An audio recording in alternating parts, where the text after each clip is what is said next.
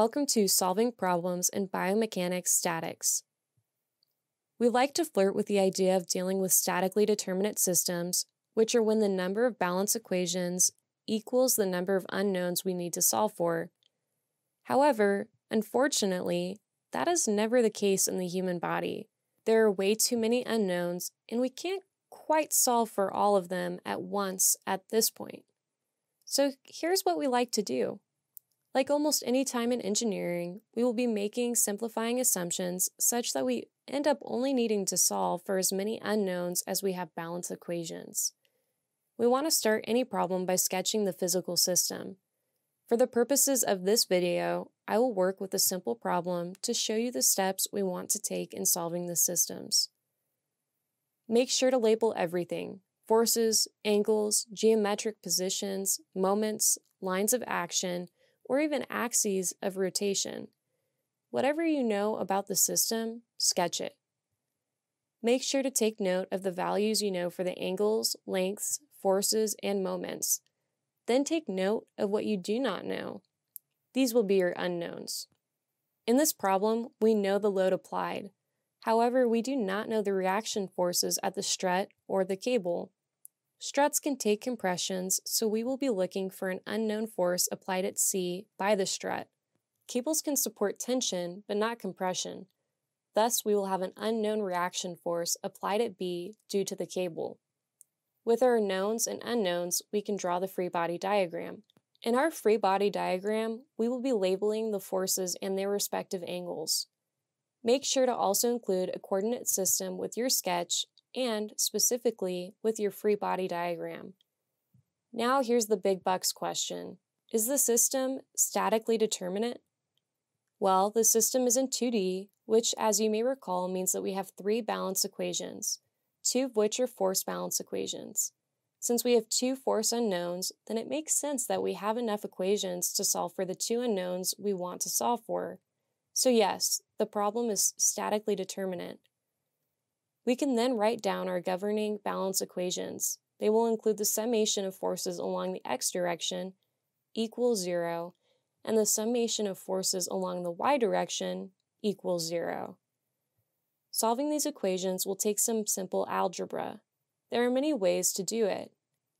A quick way by hand would be to decompose each force into its x and y components and solve the system of equations for their unknowns. I won't go through all the minute details of the calculations, but I am adding enough steps that you should be able to follow along on your own. Just pause the video and check the solving for the unknowns using the balance equations. Generally checking if the results make physical sense involve looking at the final number and making sure it is reasonable within the system we drew and the knowns we had in the beginning. Just make sure that positive and negative values go with the coordinate system and no values fluctuate too crazily unless that's expected.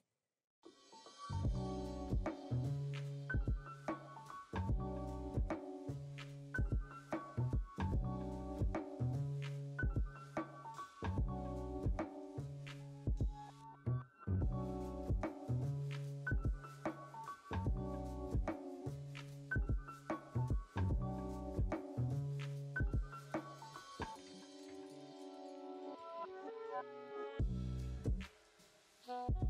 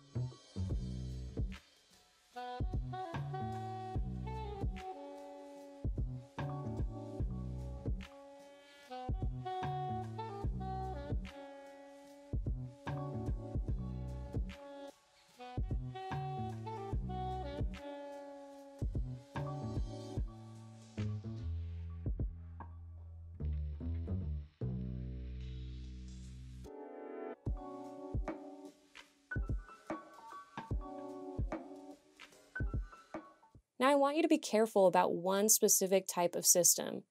This system is called improperly constrained.